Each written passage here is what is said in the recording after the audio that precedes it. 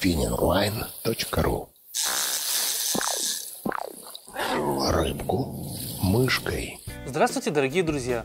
Меня зовут Вадим Комиссаров, и я рад вас приветствовать на канале Spinning Line. Сегодня в нашем обзоре представлен односекционный рыболовный ящик Helios от компании Tonar.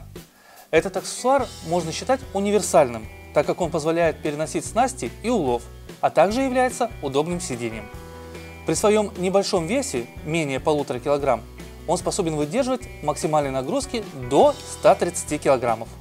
Изготавливается в нескольких цветах. Давайте поближе его рассмотрим. Гелиус имеет следующие размеры.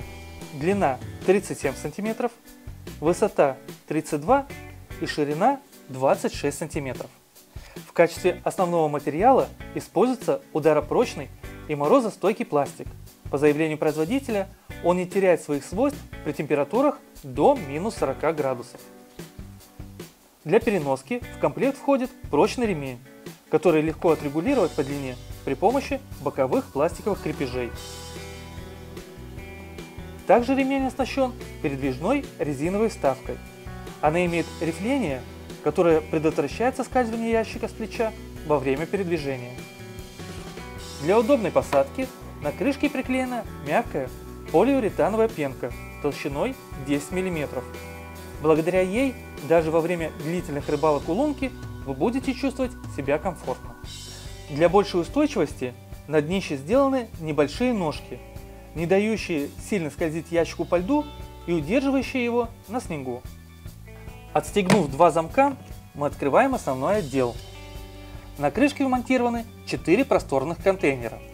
Они закрыты крышками из полупрозрачного пластика и надежно фиксируются при помощи пары замков. Здесь вы можете разместить различные полезные на рыбалке мелочи, приманки, например, балансиры или блесны, а также необходимый инструмент или запасные ножи к ледобуру.